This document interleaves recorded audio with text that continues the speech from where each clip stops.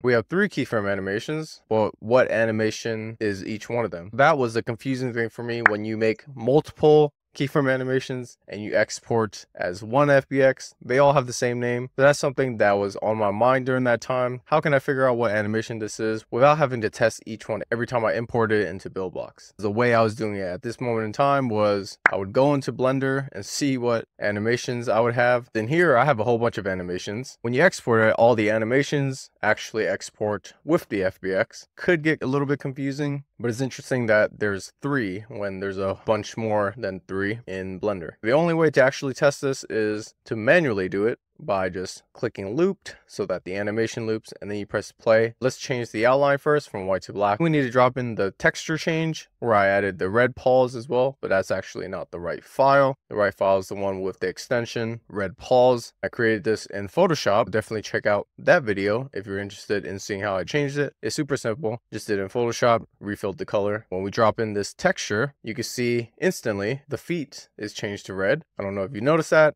on the left side, uncheck receive shadow,